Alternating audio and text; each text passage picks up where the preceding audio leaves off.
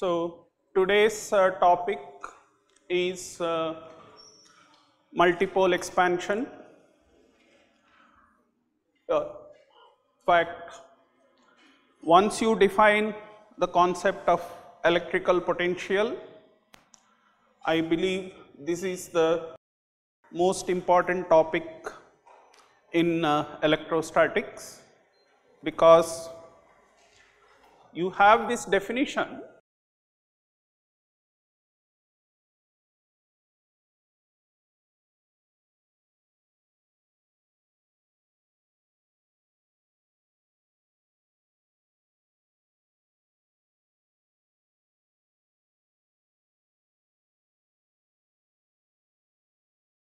So, using principle of superposition, you can define potential given some arbitrary charge distribution, you can define the potential in the form of this integral. But question is, uh, can you evaluate this integral? Well, you may say that okay with modern fast computers yes you give me any charge distribution I'll do the numerical integration and give you whatever answer you want. In principle that's a valid answer but uh, the techniques I'm going to describe they were developed about 150 years ago when there were no modern computers. But even today when we have these fast computers which can do numerical calculations, it is worth our while to learn these techniques because well number one they allow us to do analytic calculations so that whenever you have an analytic formula, you roughly know the behavior of that analytic formula and you can imagine how the solution would look. And more importantly, when you want to design things and one of the important problems in uh, modern physics is to design effective particle accelerators for various different applications and you need sort of extreme precision to make these particles move in the desired orbit. And in order to make them move in that precise orbit, you will actually find that you need to use techniques like this where you split the problem into smaller into a number of smaller problems. And you first ask okay the largest piece how does it affect my solution? And it affects it in certain way but it doesn't quite go the way I want. It's going a little off so then I'll say, okay, what kind of correction do I need to apply to make it move from here to here? And so the next piece of the problem will tell me how to apply that correction and get the party, get those charges moving along the direction I want. So as I said, even though with modern computers one can evaluate this integral the techniques that I am describing today, they will still be useful in solving even modern day problems effectively. But first, before we discuss this multipole expansion, let us consider this problem. You all know what happens if I put a char point charge at origin and what the potential is. But now instead of one point charge, I have two point charges. Suppose I have two charges, one plus q which is at the point 0 0 d by 2 and the other minus q at 0 0 minus d by 2. And I want to calculate the potential at a point reasonably far away from where the charges are. Well, one simple way of saying it is, oh, this charge plus q is at a distance r, minus q is also at a distance roughly r, so that potentials due to the two cancel out.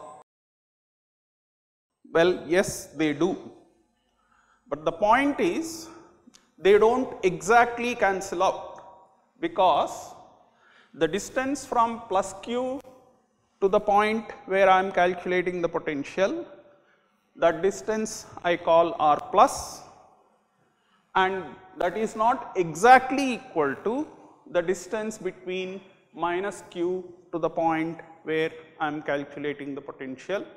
So, I have 1 over r plus minus 1 over r minus. They nearly cancel, but they do not exactly cancel. So, if I work it out, this r plus is this r, r is the distance from the origin to the point where I am calculating the potential. In fact, the coordinates of this point I describe by the vector r. Then the, this r plus is r square plus d by 2 whole square minus r d cos theta where theta is the angle between the z axis and r. Note that in this problem, the problem statement itself is defining a preferential axis that is the unit vector from minus q to plus q. Therefore, the z axis is automatically defined for me in this problem and so this cos theta is also defined. So, r plus is given by this expression and r minus is instead of a minus there is a plus here and I will do binomial expansion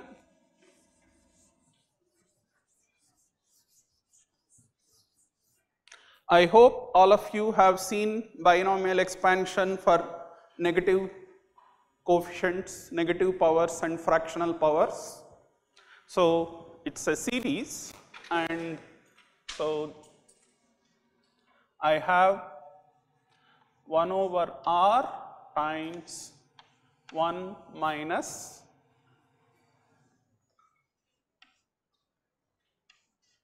d by r cos theta plus d square by r square power minus half. That is what this term turns out to be. I pull out an r square and because of the square root it becomes r and then the rest of the terms follow. And I keep only the leading term in d by r and ignore everything else. And if I do so then this is 1 over r times 1 over d by 2 r cos theta. This, oh sorry, this is plus, this is 1 over r plus and 1 over r minus turns out to be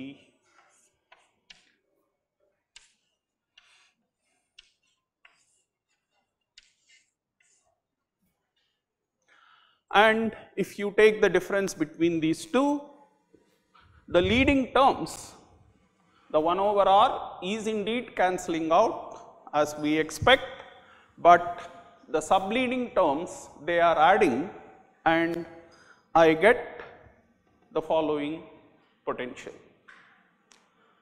One very important point for a point charge if I go far away from the point charge potential falls off as 1 over r. But in this case which we call a dipole if I go far away potential is falling away as 1 over r square. So, certainly this is a much weaker potential compared to what I have if I have a point charge. Suppose instead of considering this problem, I consider this problem. The charge at 0 0 d by 2 is 2q, but the charge at 0 0 minus d by 2 is minus q then what happens? Well, the net charge in this region now is q and if I move far away the this net charge close to the origin q is still there because of which I will see a potential q by r and in addition I will see a correction due to this distribution which goes as 1 over r square. So, if I consider this problem there will be two terms in my potential. First term will go as 1 over r and second term will go as 1 over r square. So, if I move far enough away from the origin maybe I can neglect the 1 over r square term compared to the 1 over r tau. But on the other hand, if instead of if this is plus q not plus 2q, then the leading term is cancelling out. So, simple way we make approximations. If there is a 1, you will neglect 0.1 but if the leading term is 0, you cannot neglect 0.1. I mean, if you want to talk in terms, in terms of money, suppose you have 100 rupees in your pocket and a friend comes and says, can I borrow 10 rupees? You don't mind lending 10 rupees to the friend. But if you have 10 rupees in your pocket and from friend comes and says give me that 10 rupees, then obviously you don't want to give it up. To some extent that is what we are doing here. We are comparing two terms. If the first term is large, then we will neglect the second term, but if the first term itself is 0, we cannot afford to neglect the second term, we have to keep it. So, when I have a plus q and minus q, separated by a small distance, I can't say that the potential is 0. I have to say that potential goes as 1 over r square and in addition it also has this cos theta dependence. And here we did the problem for a simple charge distribution involving two charges, two point charges but now let us do this in a general case. I write the most general potential for the most general charge distribution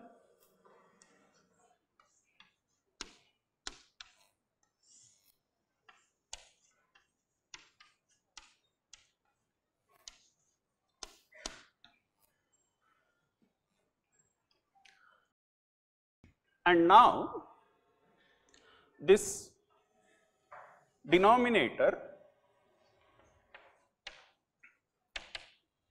is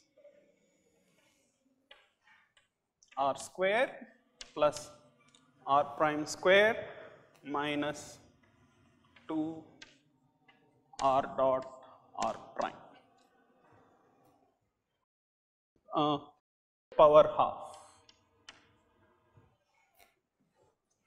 or I will actually write not denominator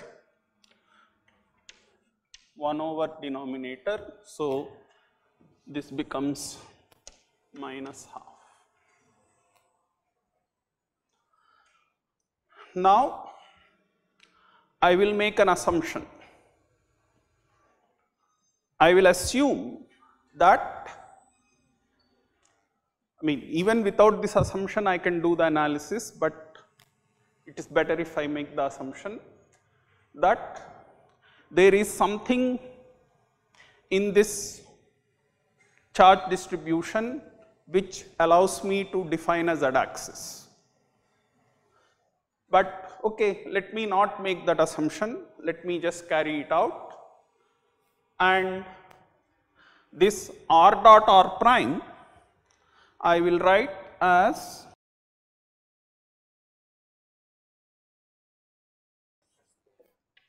two r r prime cos theta prime, where theta prime is the angle between the position vector r and the vector r prime. I think yeah, let us not worry about z axis, I think this is better. So, there is an origin, I am defining the origin that is all I am doing.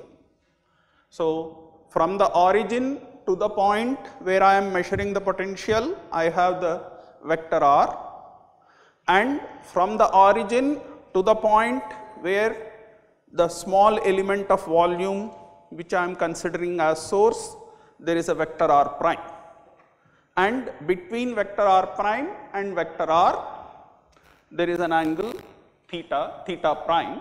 So, that r dot r prime is cos theta prime. I will write this as 1 over r times 1 plus epsilon power minus half where epsilon is r prime by r times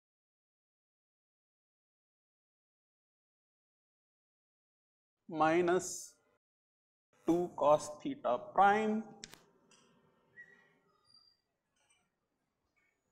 plus r prime by r.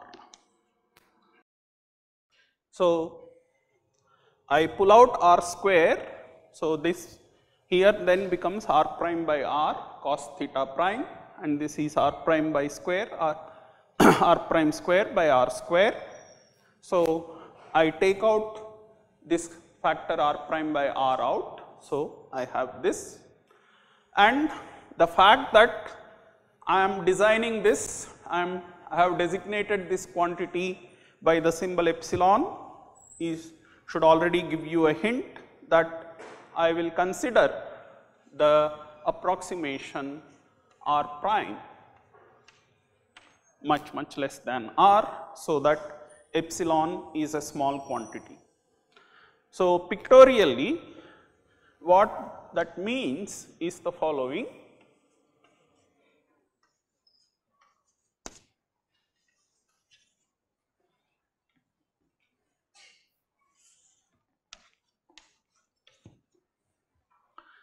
So, I am defining the two vectors r and r prime which means I am defining an origin and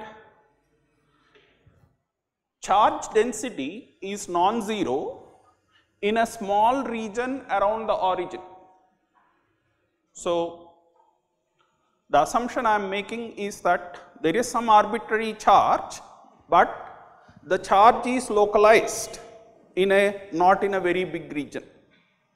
Let us say the charge is localized in a region of 1 centimeter cube, then the what I am doing is valid only if I look at that charge from a distance of 1 meter or longer. If I look at it from a distance of 5 centimeters, then the manipulations I am going to do, they are not valid. So, pictorially this is what I am thinking of that there is a small volume not microscopic but a small volume in which the charge is localized. Now, if I do the binomial expansion, I have 1 minus epsilon by 2 plus 3 by 8 epsilon square and what is the next term? What is the next term in this expansion? Minus 5 by 16 epsilon cube plus dot dot dot. And now I substitute for this epsilon and note the following. My small quantity strictly speaking is r prime by r not epsilon. Epsilon is r prime by r multiplied by two terms where this term can be large whereas of course it can be 0 also but most for most values of theta prime this is large whereas r prime by r by definition is small. So, in this expansion what I should do, I should not leave this expansion like this, I should substitute for epsilon, epsilon square, epsilon cube etc. and then rewrite them, rewrite the terms in powers of r prime by r. If I do that, you find that something quite remarkable happens. I have 1 minus epsilon by 2, but by the way, the, the first order term in r prime by r comes only from here and that is plus r prime by r cos theta. Now, when it comes to r prime square by r square, it will come from two places, one from here and one from here. So, I have uh, plus r prime square by r square or plus r prime square by r square times. Let us first consider coming from epsilon that is minus half and from epsilon square I will get this from here. So, that is times 4 cos square theta prime. plus r prime by r whole cube. Now, where do I get the terms? One will come from epsilon square which comes due to the interference of these two. There is a r prime square by r square in front and then interference of these two will give me one term. So, that is 3 by 8 times minus 4 is that correct yeah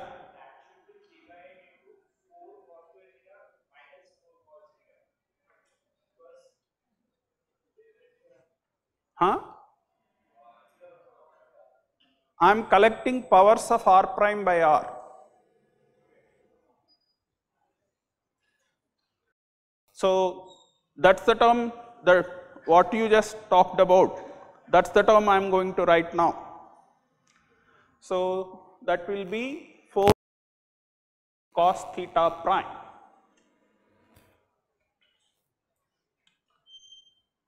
And then, is that correct? 3 by 8 times square of this, yeah. And then next will come from here epsilon cube. So, this cube times this cube. So, I will get plus uh, rather minus 5 by 16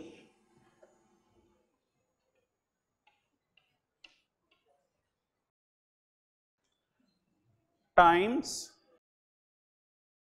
minus 8 cos cube theta prime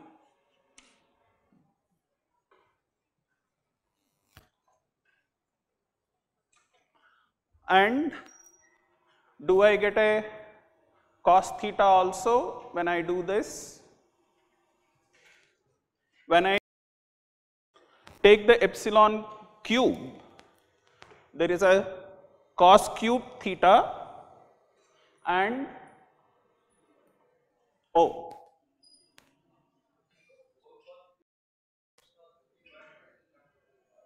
sorry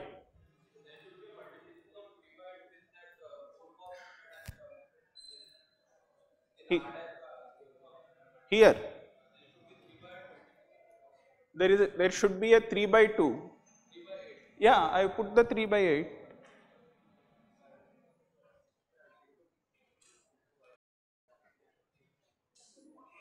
Yeah.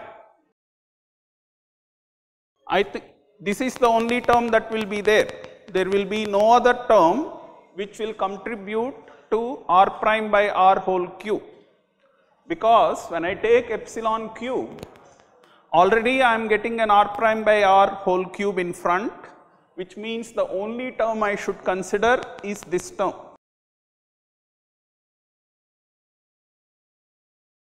And now if you add them up,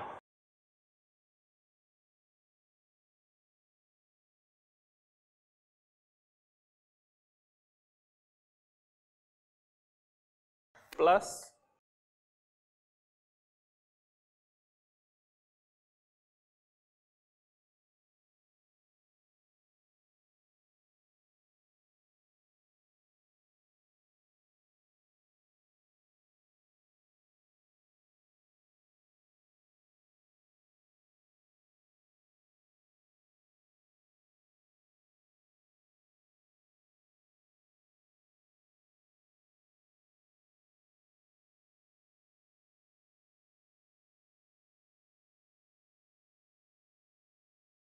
and this can be written as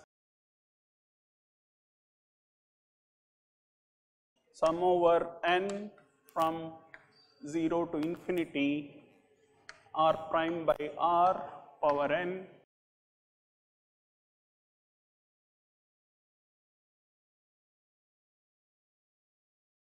Course, I have done only up to this term, but those of you who are adventurous, you can go to fourth power and make sure that you actually get P4 cos theta.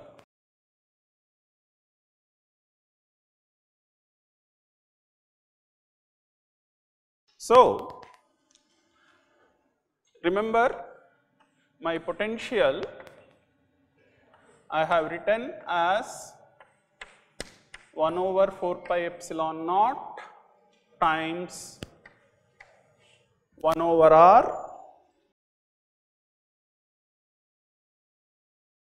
integral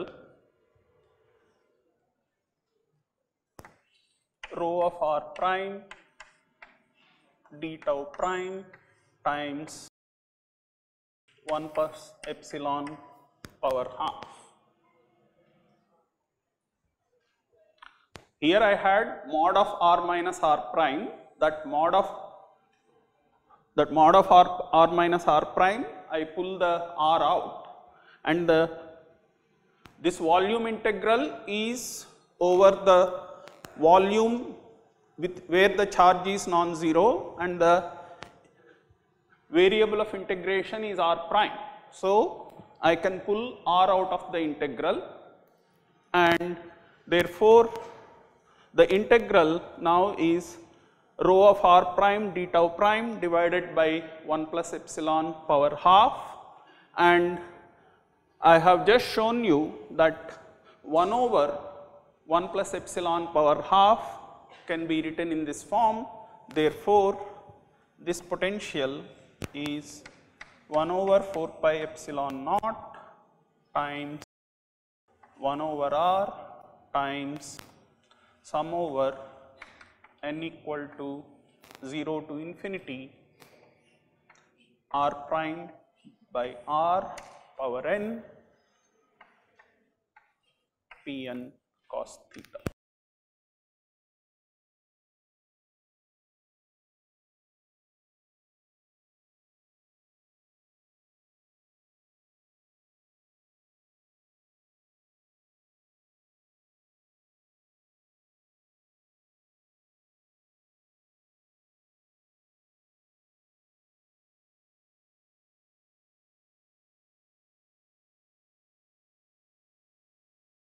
Pn cos theta prime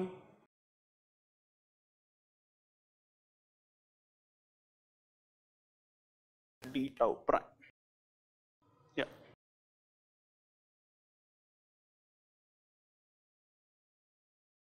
So, when n equal to 0,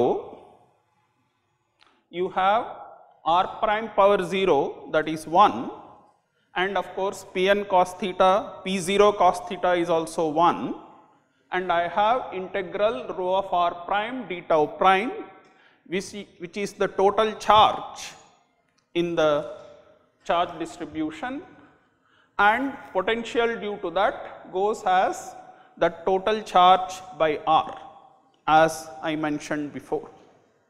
So, by the way this is what we call the multipole expansion.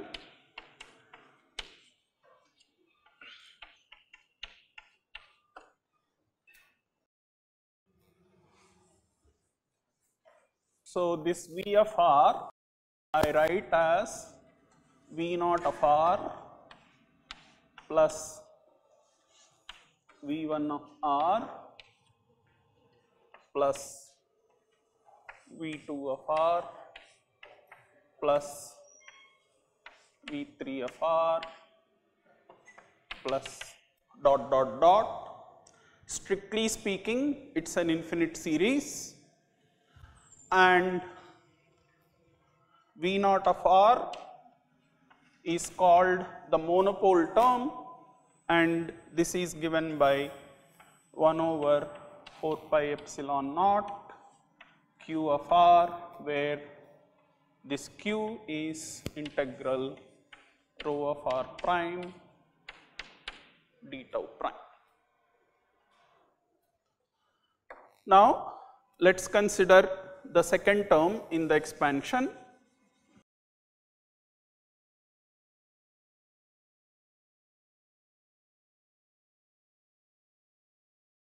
is 1 over 4 pi epsilon naught 1 over r square integral rho of r prime times r prime cos theta prime d tau prime.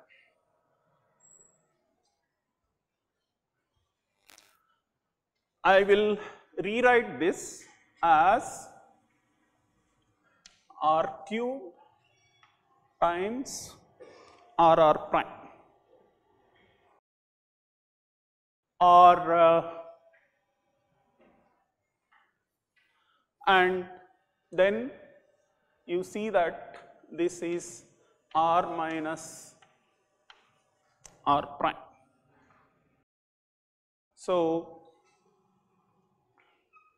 r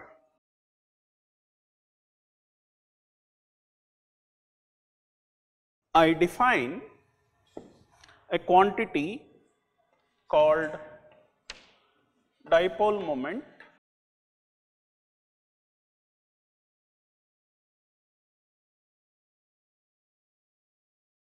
By the way, the charge is called the monopole moment is equal to integral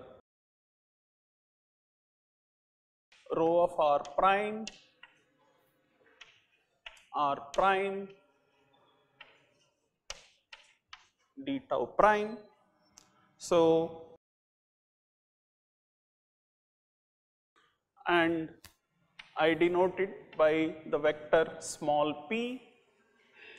Then the second term in the expansion is 1 over 4 pi epsilon naught 1 over r cube times r dot p p I am using small p. But I choose to write it actually as 1 over 4 pi epsilon naught r hat by small p by r square. So, this is the our philosophy in doing this multipole expansion. I have a charge distribution. Given the charge distribution, first I compute this quantity, just simple integral, simple volume integral of the charge distribution and ask is it 0 or non-zero. If it is non-zero, then I say there is a net charge in my charge distribution and the dominant term in my multipole expansion is the monopole term which goes as q by r. And next I compute this quantity. So, I take this element of charge rho of r prime d, d tau prime and I multiply it by the position vector of that volume element and then do the integral over the whole volume and of course by definition I will get a vector and the potential due to this will now go as 1 over r square. So, it is entirely possible that for a given charge distribution the net charge is 0, but the dipole moment is non-zero in which case this V0 is 0, but V1 is non-zero. Maybe there is another case where you can find that V0 is 0 and the dipole moment is also 0, then you can't say that every potential is 0. I have to compute the next term. Look at V2. Of course, the definition of V2 is more complicated and I am not going to do it and in fact we are not going to do it in this course. But in principle I can compute V2 based on the expansion that I wrote down and I will check if V0 and V1 are 0, check if V2 is non-zero. and if V2 is non-zero then that is the dominant term in my potential and that will go as RQ. It is also possible that V2 is also 0. I can't say potential is 0, I have to go to V3 and check whether V3 is non-zero. So, I mean, I have, I mean, I do not know if you have dealt with series expansions in a mathematics course. I have let us say a series sum of f of x which is f naught plus f1x plus f2x square plus dot dot dot dot dot. It is an infinite series. So, this is sum over n equal to 0 to infinity fn x power n. When can you say f of x is 0?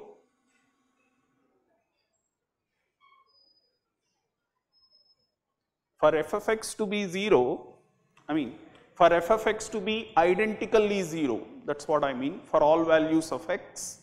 For all values of x, if you want fx to be 0, I need f naught to be 0, f1 to be 0, f2 to be 0, f3 to be 0 and every single coefficient in this exp expansion all the way up to the highest powers. Every single coefficient has to be 0 only then I can say that f of x equal to 0 for all values of x. So, same argument here. What I have is a series expansion in 1 over r and this will vanish for all values of r only if all the multipole moments are 0 otherwise you it is not possible. And the only case where all the multipole moments are 0 except of course the monopole is when you have a perfectly spherical charge distribution. If I have a rho of r which is which depends only on r and nothing else, then it does not depend on any angles. Since it does not depend on any angles, all the all the Legendre polynomials integral will become 0 and so whatever that spherical charge distribution gives you for its uh, monopole term that will be the potential. And maybe it is you can arrange it in such a way that maybe 0 to a you have positive charge and a to 2a you have negative charge so that net charge is 0 in which case you can in principle have potential 0 for uh, potential exactly equal to 0 because you have deliberately designed the charge density such that all the multipole moments are 0. But for a general charge distribution, you cannot ever say that the potential is 0. First, you are expected to calculate the monopole term. If it is not 0, fine, you can stop there Of course, if you are asked to do the calculation to 1 percent or 0.1 percent or 0.01 percent accuracy, then you may have to consider the additional terms. But as a rule of thumb, if the total charge is non-zero, we stop at the monopole term and say the potential is q by r.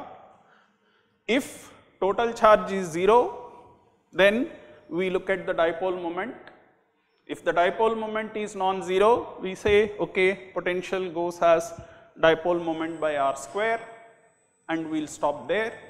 If the dipole moment is also 0, then we go to quadrupole moment and If that is non-zero, we will stop there.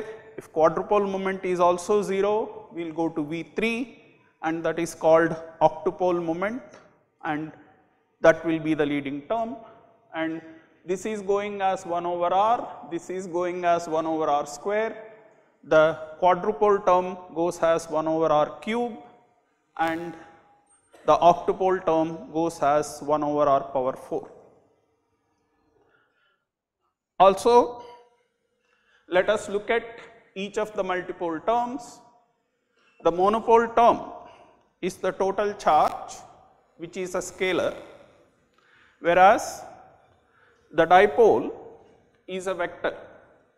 So, what will the quadrupole be?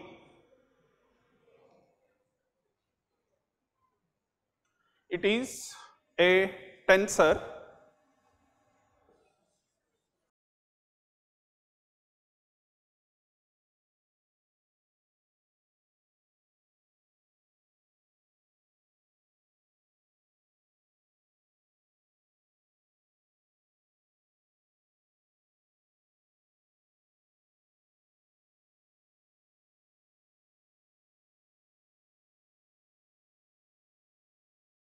and octupole moment will be a tensor of order 3 and on and on. And in fact, by extension you can call a vector to be a tensor of order 1 and a scalar to be a tensor of order 0. Uh, I will indulge in a little bit of digression and sort of give you a motivation for how the tensors arise. The first quantitative problem you do is sort of motion in one dimension. So, you have a particle moving along a line or a particle falling vertically down, you apply Newton's second law and you derive various relations between its uh, initial velocity, final velocity, distance traveled, etc., etc. But once you extend the notion from motion in one dimension to motion in two dimensions, this description of measuring everything in terms of a simple scalar is not enough because you need to specify how far you have traveled and also in which direction you have traveled. So, that is how you get the notion of a vector. But tensor comes in when you consider more complicated motions. For example, especially you consider rotation of a rigid body. So, this duster is a rigid body. By rigid body I mean if I apply a force on it or if I apply a torque on it, it does not change shape, it remains the same. Now, you have done rotations of rigid body, but you have done rotations of rigid body only for rotations about a symmetry axis. So, this is a symmetry axis for this rigid body. If I rotate it about it, you can write the simple equation angular momentum is equal to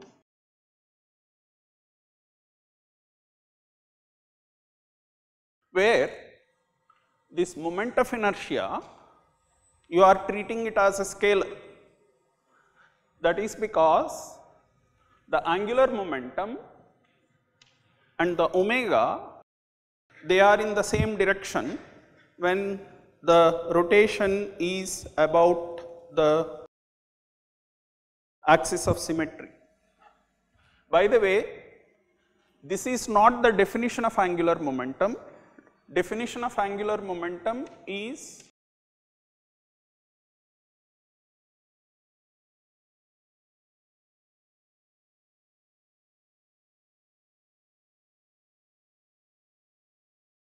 or strictly speaking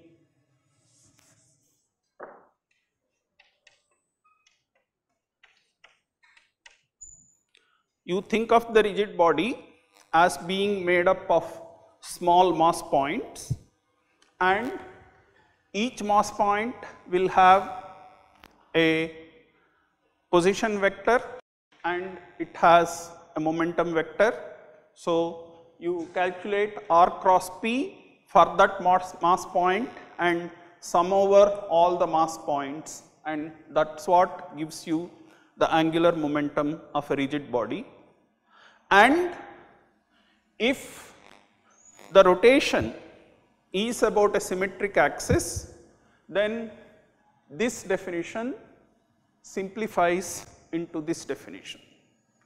But now let me consider rotation through the same point, but it is no longer a symmetric axis. So, this is my z axis and I have omega about the z axis, but I am rotating it like this. If I do so, if you work it out and in fact you should actually try to do it, you take a sort of a foot long cylinder, thin foot long cylinder and try to make it rotate about a axis which is at an angle compared to its direction. And you can feel that L omega is still omega z hat, but L is not Lz hat.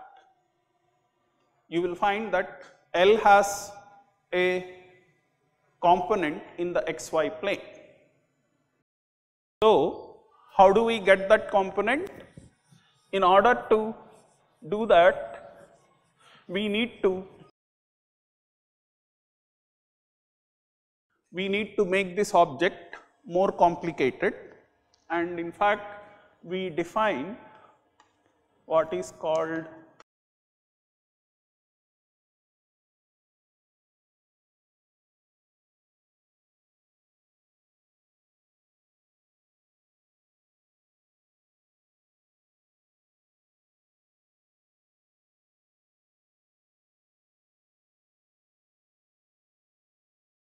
and so to describe this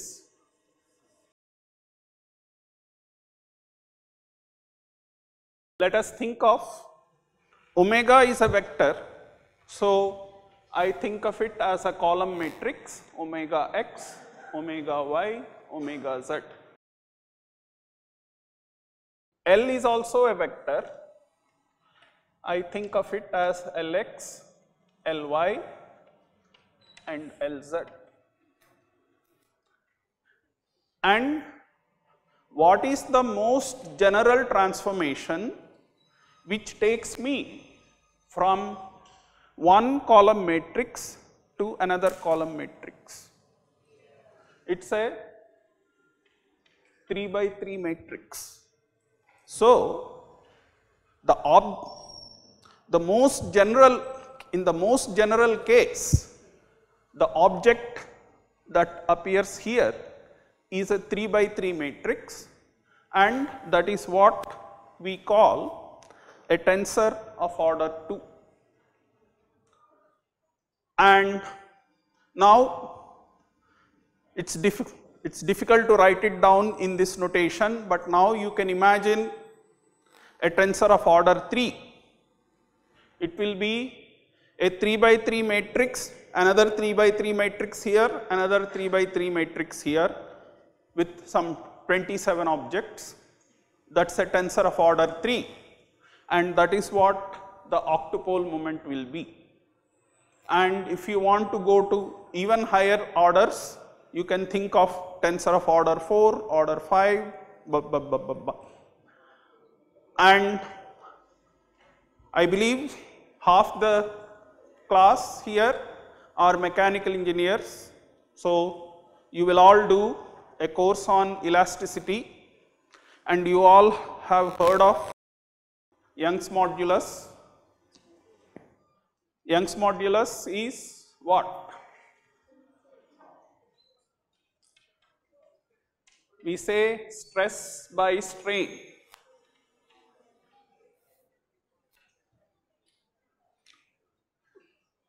What is stress? Force by area or I write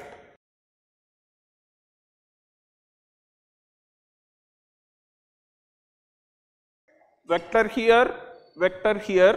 So, this is a tensor of order 2 and similarly you will find strain is also a tensor of order 2 and if you want to write Young's modulus stress which is tensor of order 2 is Young's modulus times strain which is tensor of order 2. So, this is a tensor of order 4. See, tensor of order 1 connecting to tensor of order 1, proportionality is tensor of order 2. Tensor of order 2 connecting to tensor of order 2, proportionality is tensor of order 4. So, yeah.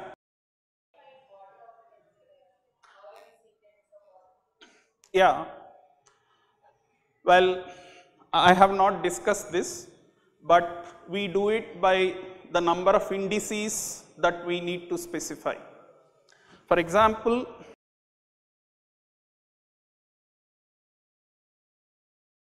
This equation also can be written as Li is equal to Iij omega j.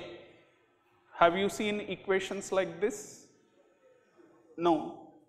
So, tensor of order 1 I use describe by using one index. Tensor of order 0 no indices that is a scalar tensor of order 1 has one index and i goes over 1, 2, 3.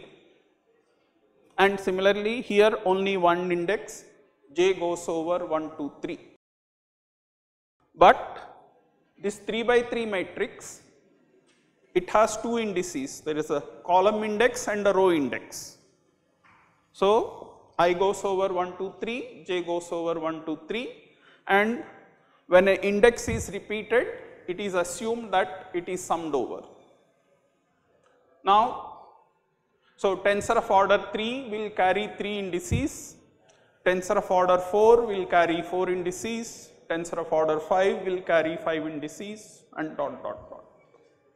So, extension is quite natural, but up to tensor of order 2 we actually use the matrix form but if you go to tensor of order 3, you can't use matrix form. But all of you, I hope you have done some programming. So, you know the concept of an array. So, tensor of order 3 is nothing but a 3 dimensional array, tensor of order 4 is nothing but a 4 dimensional array etc., etc. Finally, I will do one last thing before stopping. So, let us get back to the multipole moments.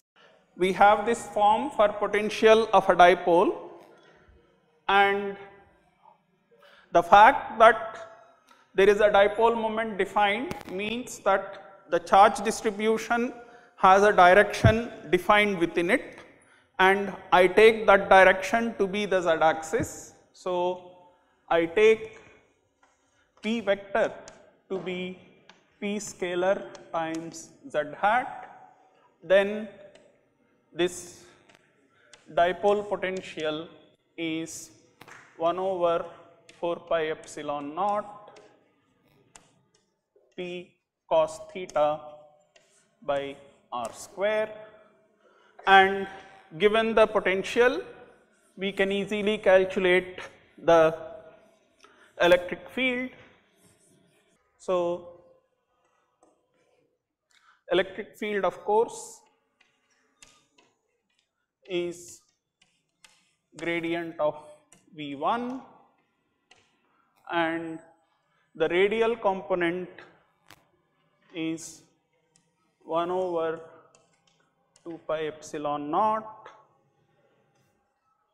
2 p cos theta by r square and the theta component is 1 over 4 pi epsilon naught p sine theta by. So, you see that for the same distance the electric field is twice as strong along the direction of the dipole compared to perpendicular to the dipole. Oh, sorry.